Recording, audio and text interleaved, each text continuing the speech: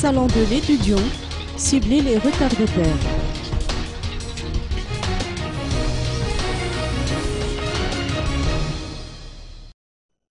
Près de 2000 jeunes sont attendus à l'occasion du Salon de l'étudiant qui se tient au site à Batnakang depuis aujourd'hui jusqu'au 24 janvier prochain à l'initiative de Madagen.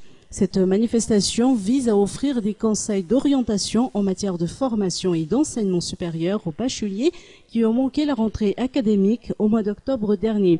À cet effet, les 12 instituts qui participent à l'événement entendent proposer une quarantaine de filières aux visiteurs, a indiqué Laat Andiamatsang, responsable auprès de Madagen. Selon les précisions de ce responsable, les jeunes s'intéressent davantage aux filières gestion, paramédicale, droit et tourisme.